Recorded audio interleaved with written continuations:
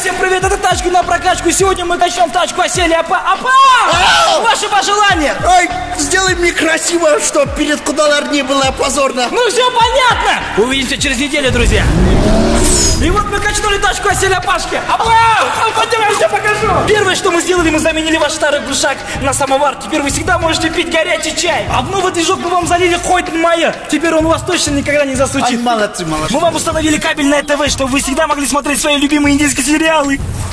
А в багажник мы вам засыпали чернозем и перегной. Теперь у вас всегда с собой будет огород. Еще мы вам установили GPS-навигатор, чтобы вы всегда могли отыскать своих внуков. А сюда установили холодильник, чтобы вы всегда могли их накормить. А пенсии хватит на все это, а? Ой, еще и останется. А, кстати, вам бонус. Бесплатная страховка на всю жизнь. Why you think the PEX nigga?